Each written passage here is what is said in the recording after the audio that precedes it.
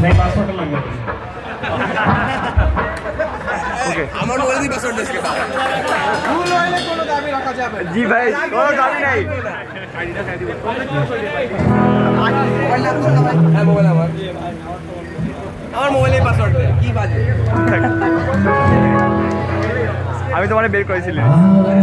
আমি লিস্ট করছি